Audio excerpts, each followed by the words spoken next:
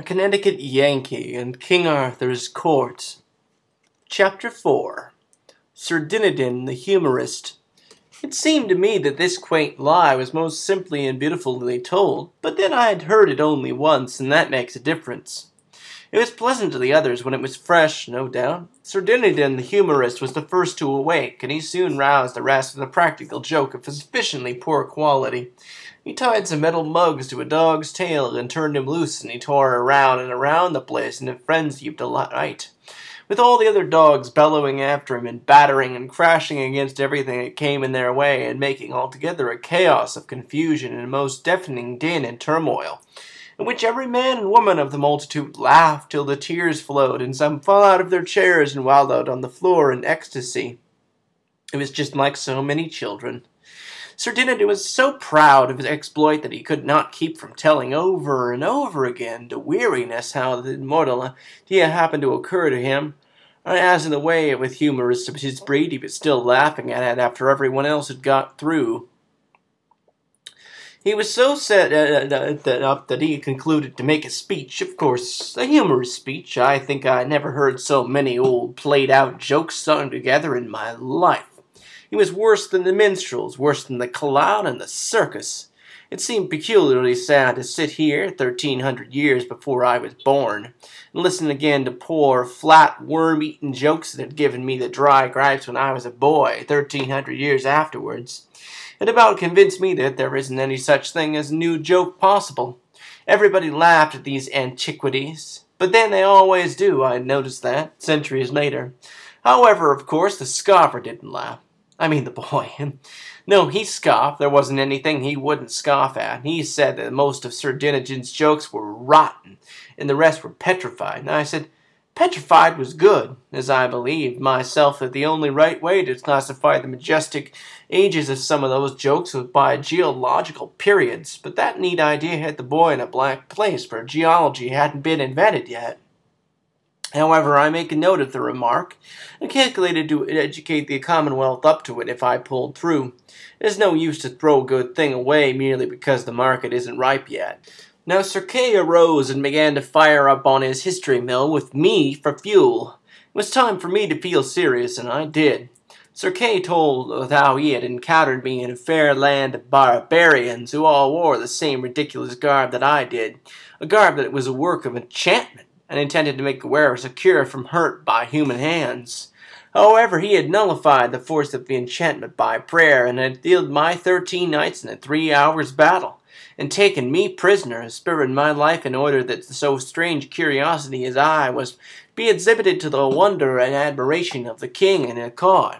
He spoke of me all the time in the blandest way as this prodigious giant, and this horrible sky-towering monster, and this tusked and taloned man-devouring ogre. And everybody took in all this bosh in the naivest way and never smiled or seemed to notice that there was any discrepancy between these watered statistics and me. He said that in trying to escape from him, I sprang into the top of a tree 200 cubits high in a single bound, but he dislodged me with a stone the size of a cow, which ultra-breast the most of my bones, and then swore me to appear at Arthur's court for sentence. He ended by condemning me to die by noon on the 21st, and was so little concerned about it that he stopped to yawn before he knew uh, the date. I was in a dismal state by this time. Indeed, I was hardly enough in my right mind to keep the run of the dispute that sprung up as to how I had better be killed, the possibility of the killing being doubted by some, because of the enchantment in my clothes. Yet it was nothing but an ordinary suit of fifteen dollar slop shops. Still, I was sane enough to notice this detail, to wit, many of the terms used in the most matter-of-fact way by this great assemblage of uh, first ladies and gentlemen in the land would have made a Comanche blush. Indelicacy is too mild a term to convey the idea. However, I had read Tom Jones and Roderick Random, in other books of that kind, and knew that the highest and first ladies of gentlemen in England had remained no little or no cleaner in their talk, and in the morals and conduct which such talk implies, clear up to a hundred years ago, in fact clear into our nineteenth century, in which century, broadly speaking, the examples of the real lady and real gentleman discoverable in his history, or in European history for that matter, may be said to have made their appearance. Suppose Sir Walter, instead of putting the conversations into the mouths of his characters, had allowed the characters to speak for themselves. We should have heard him talk from Rebecca and Ivanhoe and the sweet oft lady Rowena, which would embarrass a tramp in our day. However, to the unconscious and indelicate, all things are delicate. King Arthur's people were not aware that they were indecent, and I had presence of mind not enough not to mention it.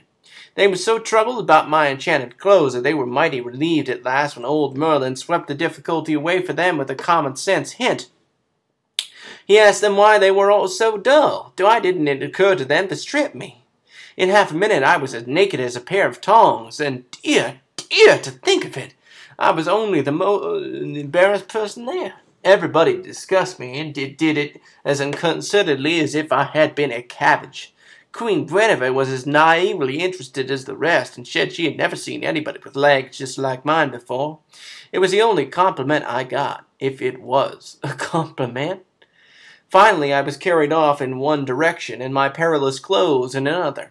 I was shoved into a dark and narrow cell in a dungeon, with some scant remnants for dinner, some mouldy straw for a bed, and no end of rats for company. A Connecticut Yankee in King Arthur's court Chapter 4 Sir Dinadan the Humorist